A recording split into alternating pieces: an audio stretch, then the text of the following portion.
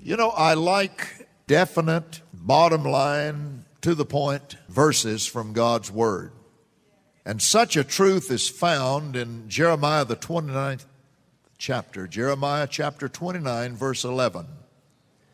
And I'd like to just give a title to the message today What God Thinks About You.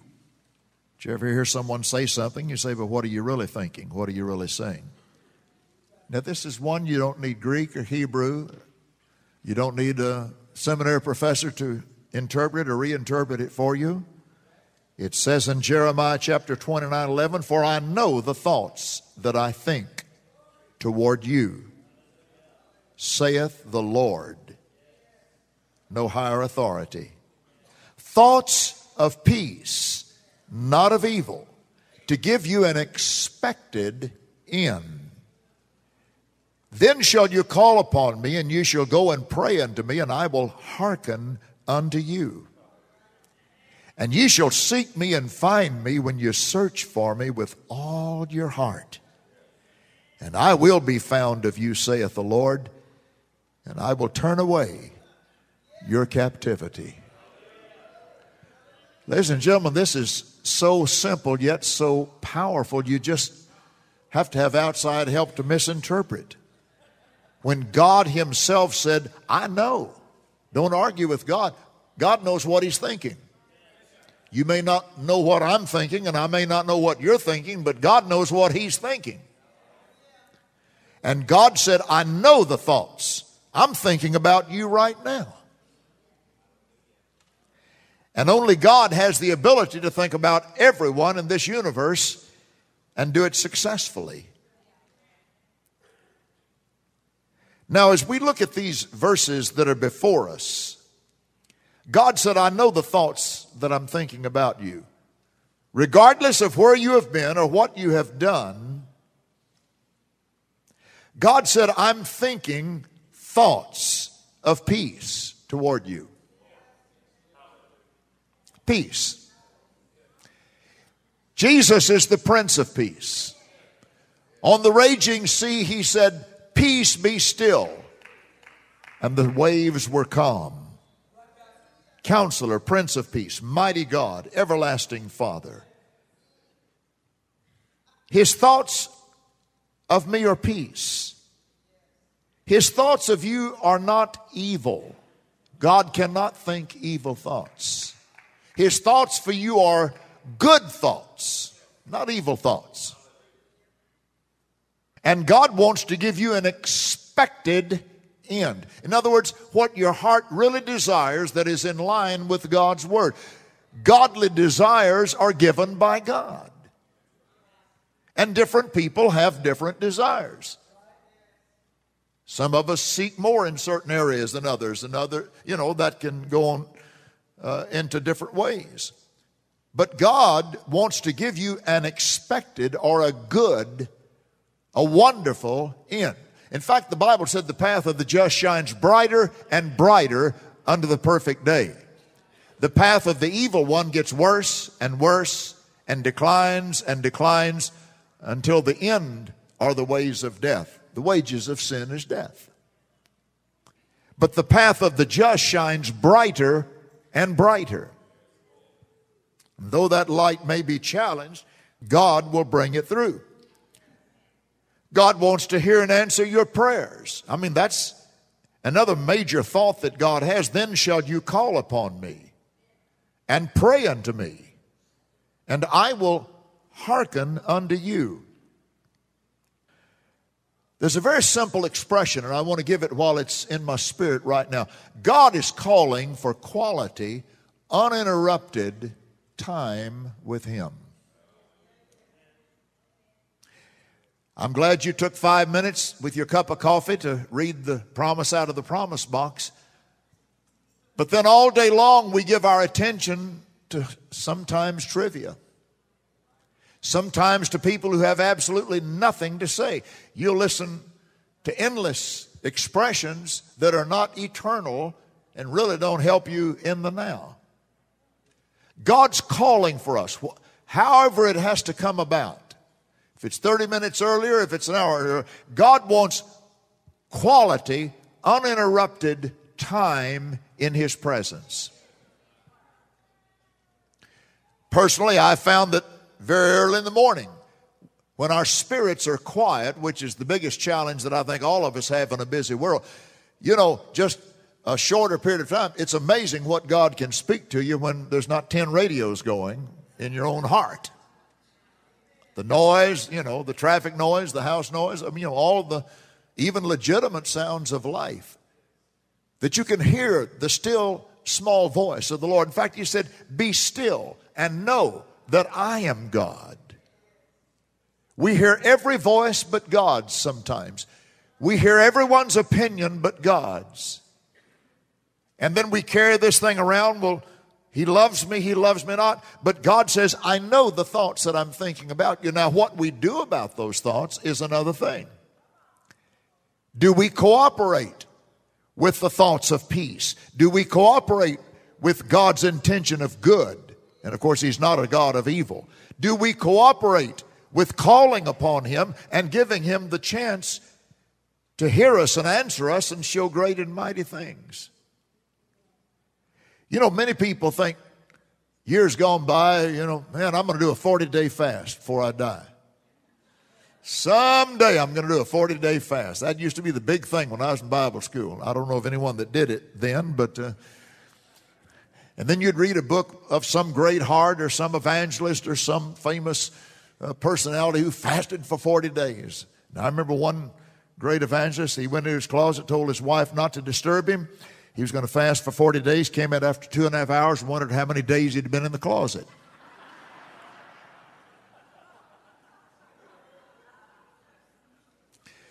See, his body was in the closet, but his spirit and his heart was not in the closet successfully before God. So God has thoughts toward us thoughts of peace, thoughts of answered prayer, thoughts of good, not evil, thoughts of all of our scriptural prayers being answered, and that when we seek Him, He will be found of us, and that God will literally turn away our captivities. God will set us free from the bondages. God will help us to release the baggage. All of us have some along the way. To be free. So that's the thoughts of God. And I don't know how that affects you, but you know, there's many people that live a miserable life because they think God doesn't love them, that God's afraid of them. And uh, I was getting a card in a card shop, and I don't know the I don't know all these little characters, but they had one out there that's blown up, you know, and this little girl said, Mommy, Mommy, that's just like what comes into my room all the time. And she said, Mommy, it's real. It's real. I see this all the time. And it was a weird looking little character, you know, about so tall. And I thought, you know, that's probably real to that child. And she probably got it off television. And so something probably is coming in her room. And the mother doesn't have enough spiritual comprehension to understand that. I'm going to tell you, folks, everything in the world is knocking on the door of our children and our grandchildren and your heart and your life. And we're going to have to learn how to scream no in a way that we've never said it before. In the name of Jesus, no, no, no. I don't receive that which is not of God. I do receive that which is of God. So that's what God's thinking about you. Now let's go over to Ephesians, the second chapter. And I want to give you from the New Testament a further insight into how God sees you and what God is doing in your life. Really, I guess maybe some pastoral from the heart teaching and ministry is where I'm coming from this morning.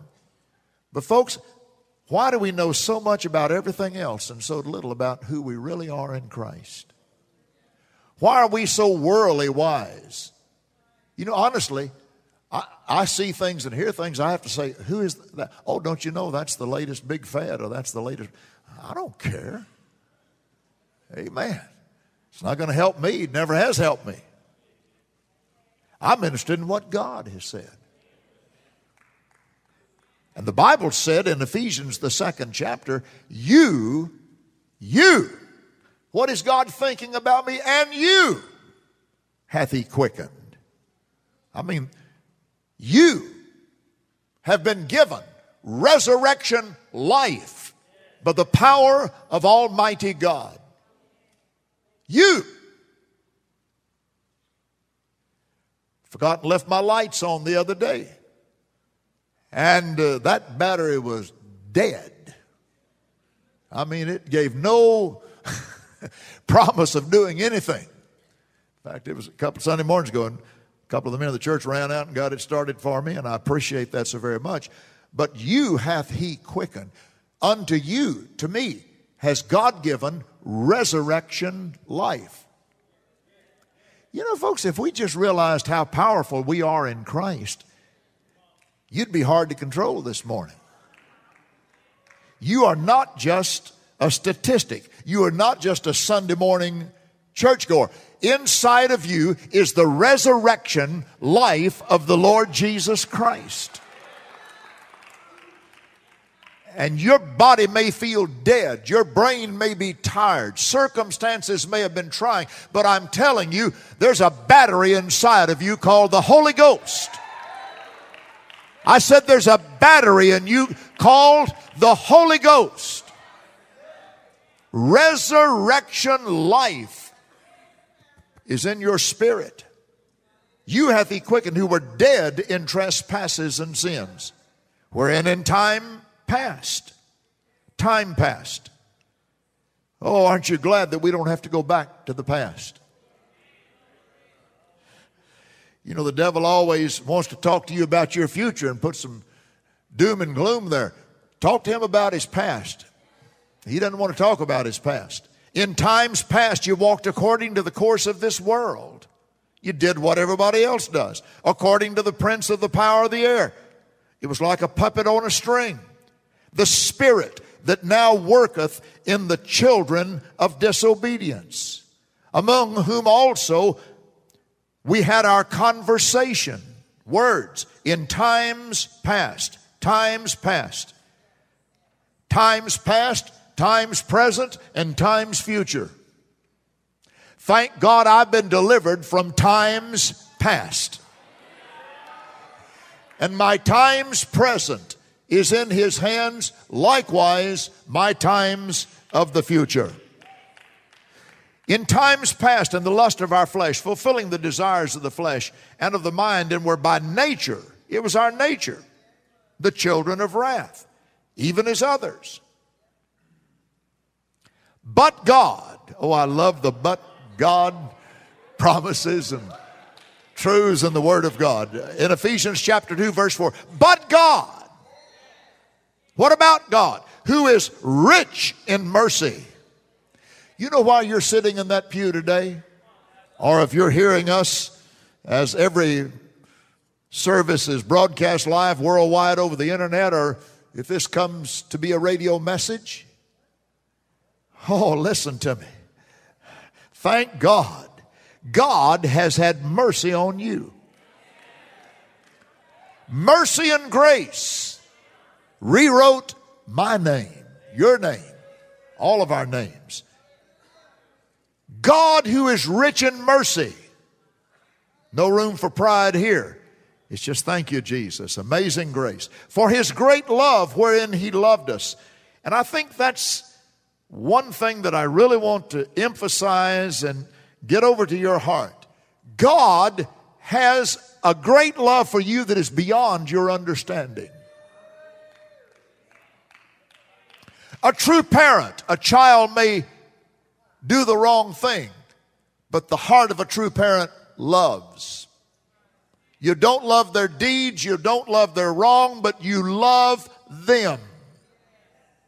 And God, for His great love, I mean, this word just goes crazy. You can run it out and just just follow. His great love. It means love beyond your understanding love beyond measure love beyond degree. I mean just above and beyond and whoa god's great love. Not small love good love. Great love. God's great love toward you. Oh that's so awesome. Thank you, God, for your great love. That a man such as the one who wrote Amazing Grace could even be born again, much less give us amazing grace. But God, who is rich in mercy, for his great love. Do you know it's going to take eternity for God to explain his great love to us? Why would he love us? Why would he have patience with us? Why would he come to forgive us? Why has he given his son? Why? Why? Why? It's going to take eternity for God to explain his great love toward you and toward me. His great love wherewith he loved us. Even when we were dead in sins, that's the thing you don't understand. God saw the diamond in the rough. God saw the gold.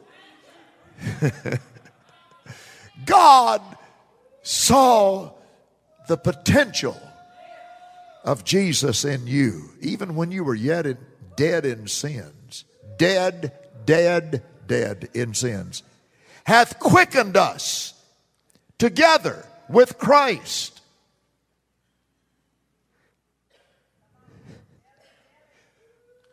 When we were dead, unlovable. Would you want the Apostle Paul to be the next pulpit guest, knowing what you knew about his past? No. Would you give the Apostle Paul the vote to come in and be the new pastor of a church? No. Would you vote him in to be the, the president of a seminary? The, the one who persecuted the church and murdered believers? But God, with His great love and His great mercy, he looked beyond all of that and called him to the gospel of Jesus Christ. I tell you, folks, our God is an awesome God. It's not a light thing that I'm standing here this morning preaching the gospel to you. It's not a light thing that you're sitting there listening to me. It's because of His great love. God's great love. We were dead in sins and trespasses. The Bible said, hath raised us up together, raised us up. I want to tell you something, believers. You're called to a higher plane. Never measure yourself by. Somebody said, "Well, I know, I know people that don't even serve Jesus. That uh, you know they're, yeah, but they're going to hell." Don't measure yourself by the best example of this world because you still fall short. There's only one thing that can make us acceptable to spend eternity with Christ, and it's the precious, precious blood of the Lord Jesus Christ. What can wash away my sin? Nothing.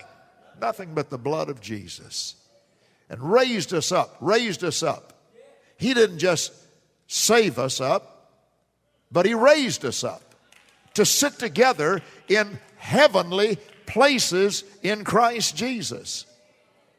God calls you to better than this world system. God calls you to better than maybe what some other believers might be. He's raised us up to sit together with Him in heavenly places. How dare we let the anchor of this world drag 24 7? I'm called to a higher plane. I'm called to be a member of, the, of another army. I'm called to sit together with Christ in heavenly places. And that in the ages to come, he might show the exceeding riches of his grace. Just what I got through saying a moment ago. It's going to take eternity for God to explain to our understanding why God loved us so dearly and consistently through Christ Jesus. For by grace are you saved through faith. Not by joining a church, though that's a wonderful thing to do. Not by praying, not even by giving of tithes and offerings. But salvation is by grace. Hallelujah. Through faith not of yourselves. He gives us the faith to even believe for salvation. Come on. He gives us the faith to even believe for salvation. That's why we feel so emphatic about altar calls. You don't just come to God when you want to. Guess who gives you the want to? I've talked to people about Jesus that were as dead as a slab of concrete. When your hearts are tender, never let it cease to touch your heart. The people who were lined across this front area this morning. Tell it through the Metroplex that there was an altar call on Sunday morning. People answered that altar call, and we unashamedly called them to the Lord Jesus Christ. That's a big deal. It's important. It's hard to get saved in a lot of churches nowadays. you, you really have to work at it. By grace are you saved through faith. That not of yourselves. It is the gift of God. But even a gift must be received. I've tried to give gifts that were not received. I've tried to give gifts of my kindness through God. I've tried to give gifts, even monetary. I've tried to give help, real help to people, but the gift was not received. See, Jesus is the big gift, I'm a little gift. But through me, I'm a distributor of the gifts of God for this service at this moment. It's the gift of God. Folks, everything we have is a gift from God. Everything that we are that's good is a gift from God. The fact that God has kept us, watched over us, helped us.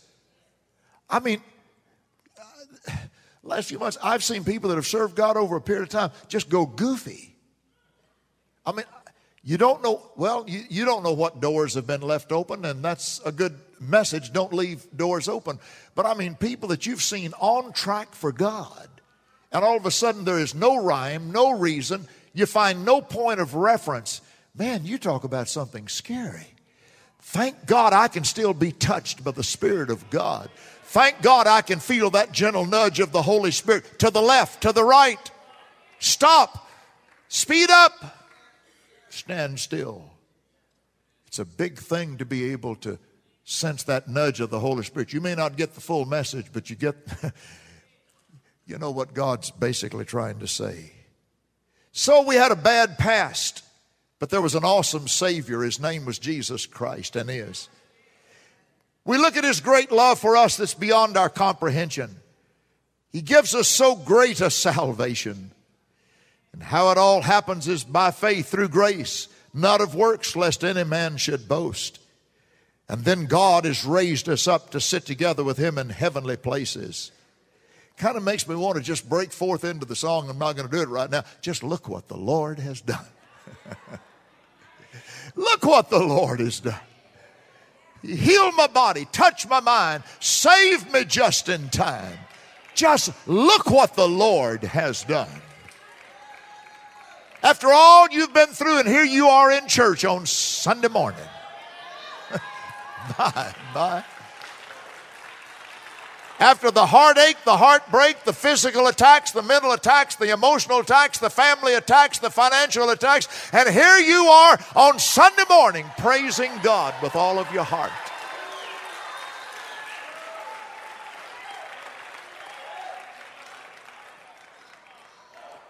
And then just to think that God has you on his mind. And he's not mad at you. He's not mad at you. His thoughts for you are good. Now you have to cooperate with that. You can disregard that and you can choose to go your own way. It's the old story that I've shared many, many times. So it's raining, so you have an umbrella. So you hold your umbrella and say, Why do I get wet? Open the umbrella of God's word and God's promise, and it will shelter your head from the rain. God thinks about you. His umbrella of His Word is over you. You're constantly on God's mind. He's thinking about you.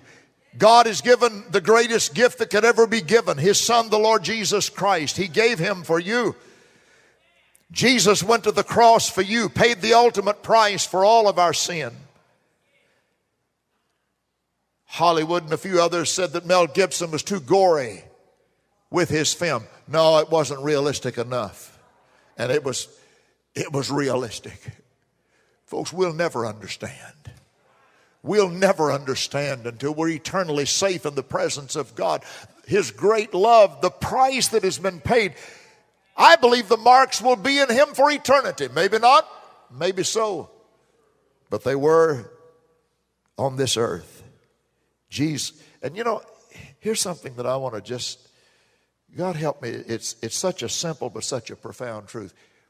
Here's another reason why we're still on two feet and we're still going forward. Did you know that Jesus is constantly praying for you?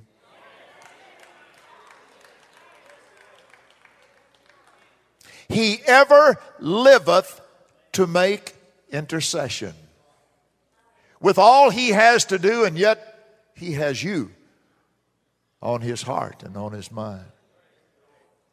We're making it because of God's grace. We're making it because of our faith in the finished work of Calvary. Yes, I understand that. And we're making it because we continue to make good decisions. But also, we're making it. How many times? I know, I don't know, it was a few weeks ago, it was just one of those pastors' days, and I just said, God, please lay me on somebody's heart. I need, you know, there's a thousand different numbers I could have called, but I mean, I didn't have time to do all that. I just said, God, lay me on someone's heart. And I found out that God did lay us on someone's heart at that exact time. You know, that's God's mercy and that's God's grace. That someone would have a thought of you or of me or of any of us.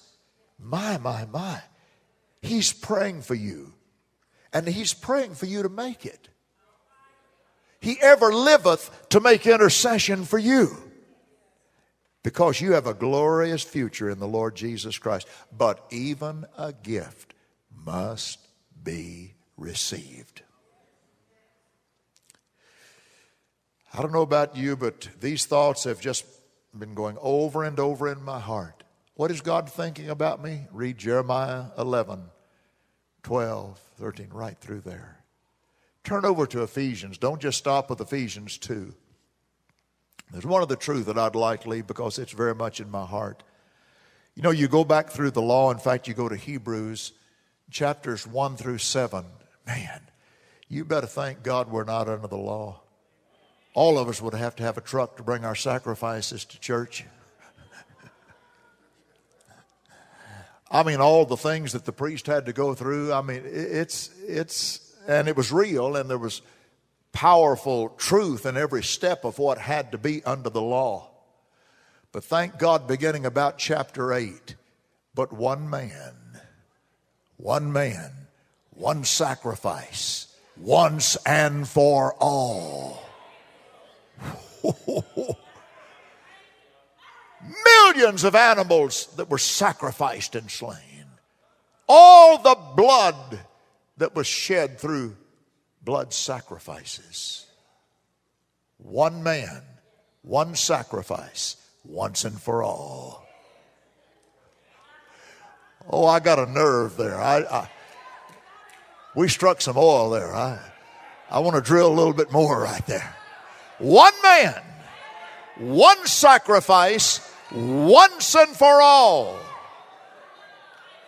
Jesus paid it all and all to him I owe. Thank God I don't have to come with all the sacrifices. And if I missed one step in the eight steps into the, you know, to the worship, and it's all good. And it's truth and it's there.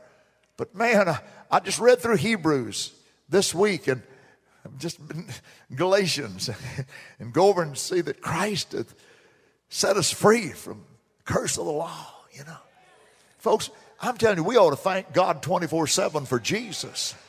One man, one sacrifice, once and for all, did the equivalent of the whole Old Testament. Plus the New Testament, even coming to our day right now. One man, once, oh, one man, one sacrifice, once and for all. You know who he did it for? You and you and you. He did it for all of us. But even a gift must be received.